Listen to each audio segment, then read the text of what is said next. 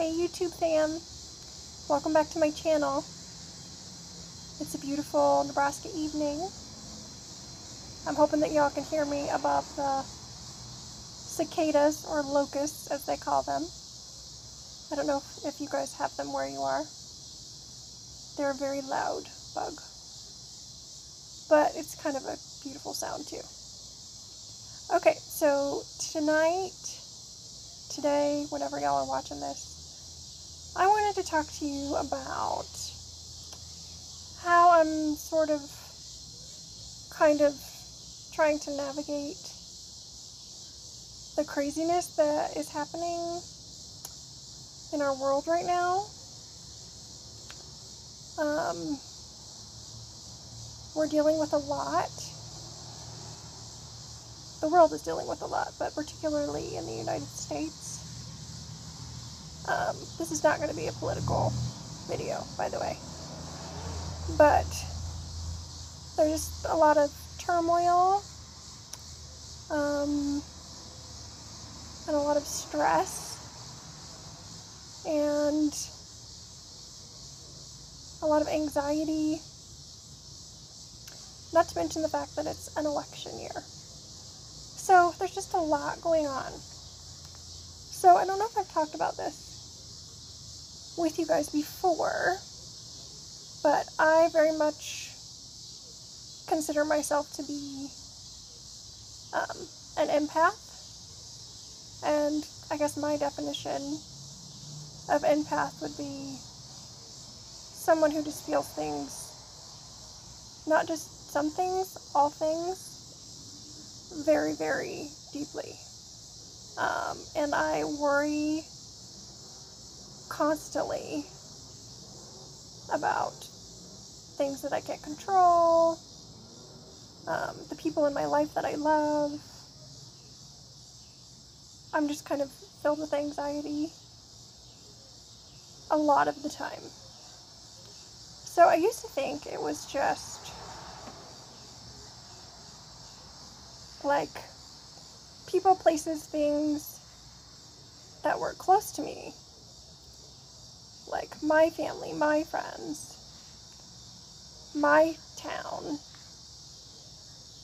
um, that would affect me in a big way.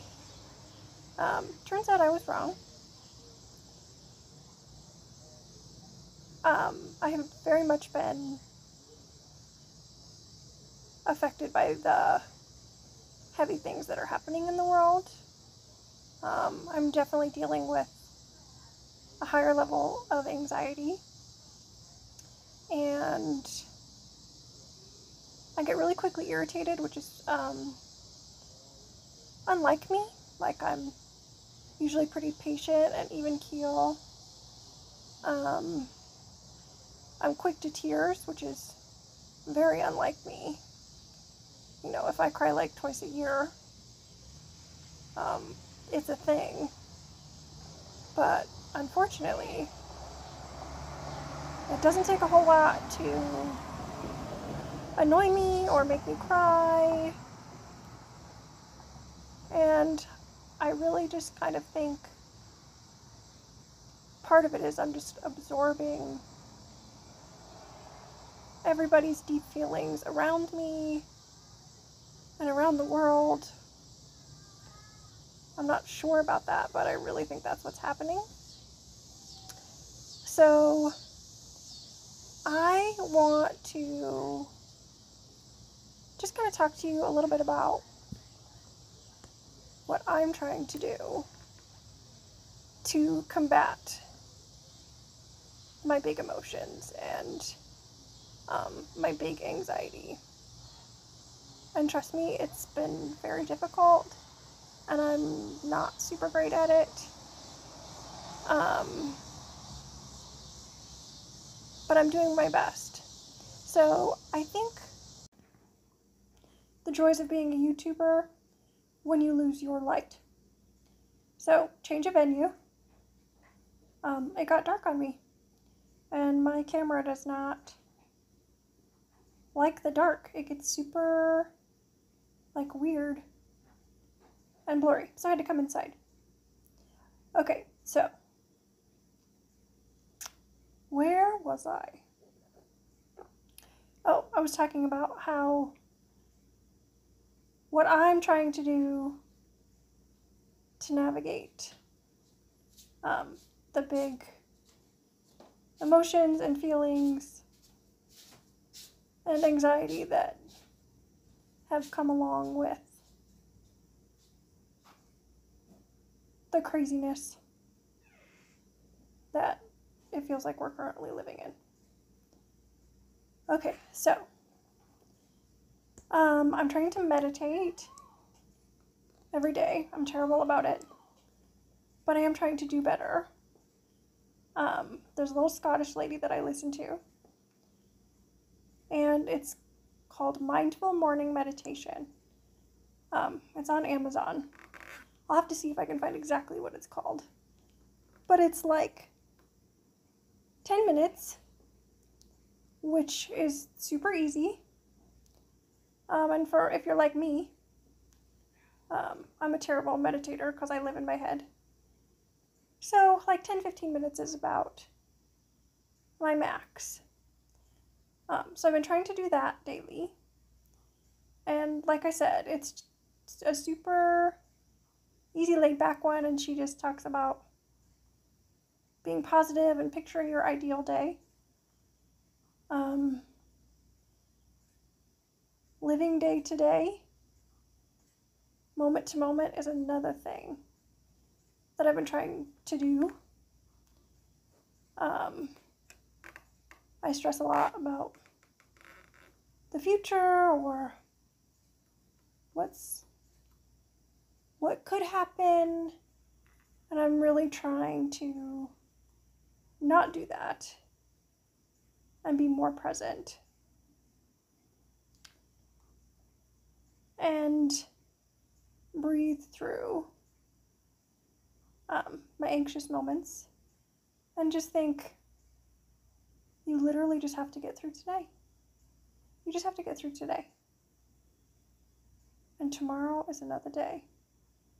And as grandma says, if it isn't, it didn't matter anyway. So, okay, so meditation. Um, being pre- present, not stressing about the future. Try not to stress about things you can't control, which is like a mantra that I say daily. I suck at it. But I'm trying to be better. I'm trying to shoo those thoughts away um, when they come at me. Okay, let's see what else. Um, focus on the change that you can make. Like, as far as the people you love or your community, you know, try to be a light. Check in um, with your loved ones. Um, and be a smiling face, even though we live in masks. You can smile with your eyes. Um, for those that you deal with every day, because your bright light will help them be a bright light too. Um, indulge. That's my next thing.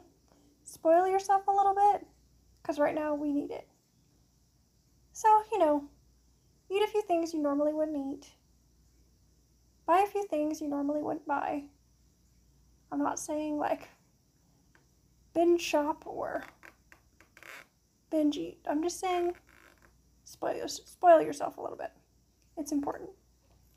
Um, Sorry, my eyes are itchy. Okay, what are the other things? Ooh, listen to good music. Find songs that make you happy or that touch your soul. Um, I know y'all have probably heard the song. Don't worry, be happy. Um, but Grandma and I found a version. I know it's not the original version because I don't really like the original version, and it's awesome. So good, so fun. I can totally jam to it. Maybe I'll post a little video of me jamming to it. Don't worry. Be happy. But good music, super important. Good for your soul. Um, if y'all have song recommendations, send them my way. Or if you have meditation recommendations, send them my way. Okay, I promised that this wasn't going to be super long. Okay, so, and there's a few quotes that I want to read for you. Okay, so let's just recap. Um, be present. Meditate if you can. Meditation and prayer. I mean, if you pray, I pray. Um, spoil yourself a little bit. Self care is huge. Mental health check ins are huge. Um, listen to good music that fuels your soul.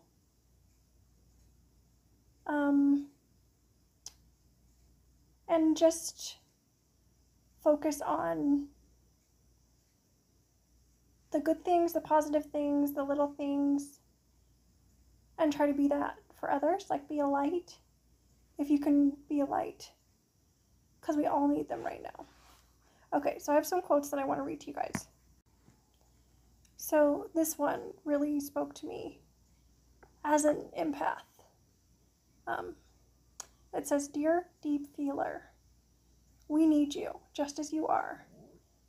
Sensitive, messy, dangerously perceptive, alive with feeling. Those dark places you go are painful, I know, but your brilliance lights the way for others who do not dare go to those places unaided. You are a visionary, even when it feels like you are lost. Dare to keep feeling it all. The others are watching and learning from you. Kung Fu for the Soul.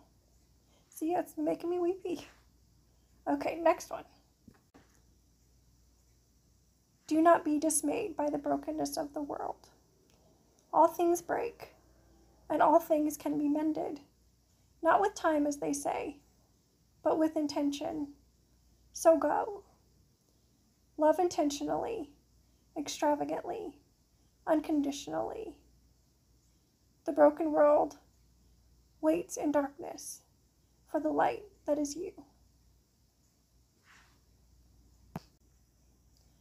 You do not have to move mountains. Simply fall in love with life. Be a tornado of happiness, gratitude, and acceptance. You will change the world just by being a warm, kind hearted, human being. Sometimes I just want it to stop. Talk of COVID, protests, looting, brutality. I lose my way. I become convinced that this new normal is real life. Then I meet an 87 year old who talks of living through polio, diphtheria, Vietnam protests, and yet is still enchanted with life. He seemed surprised when I said that 2020 must be especially challenging for him. No, he said slowly, looking me straight in the eyes. I learned a long time ago not to see the world through the printed headlines. I see the world through the people that surround me. I see the world with the realization that we love big.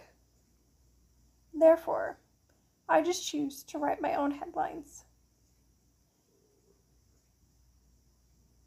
Husband loves wife today.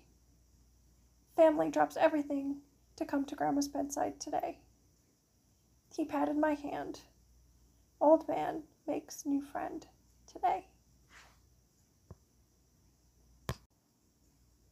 Y'all are beautiful and wonderful and I love you, and I hope you're staying healthy and safe and taking care of yourself.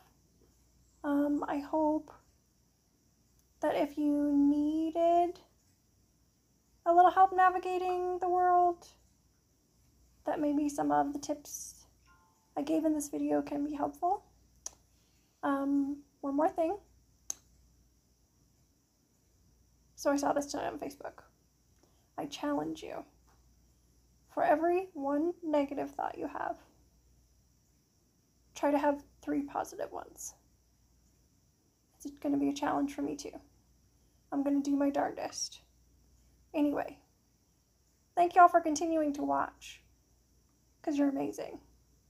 And somehow overnight I hit like 400,000 views. Holy crap. But anyway, I love y'all. Big fat kisses.